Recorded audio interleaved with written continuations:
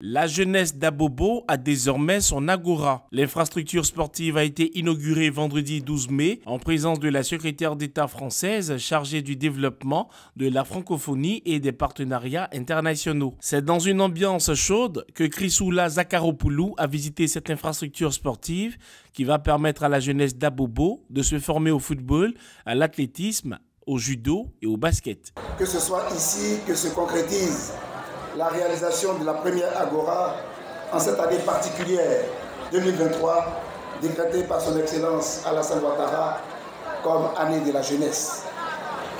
Quand on connaît la forte corrélation entre le sport et la jeunesse, en ma qualité de premier responsable des sports, je ne peux être que très heureux. Je suis content parce que le président de la République, Emmanuel Macron, depuis 2017, a mis au cœur de sa politique avec les pays du continent africain, dans ce nouveau partenariat, la jeunesse africaine.